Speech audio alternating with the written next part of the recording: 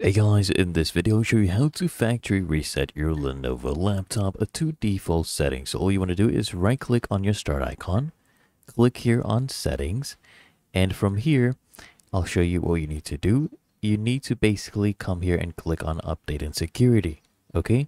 And from the left hand panel, come here and click on recovery.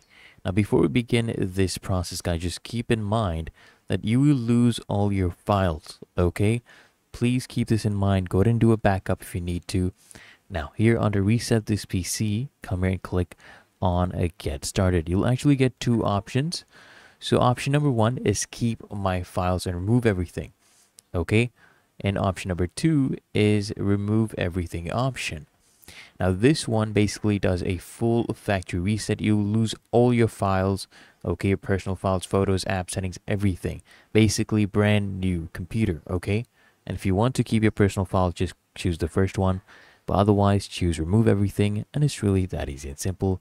If you found this helpful, make sure you smash that like button and subscribe to Sasha Gemar.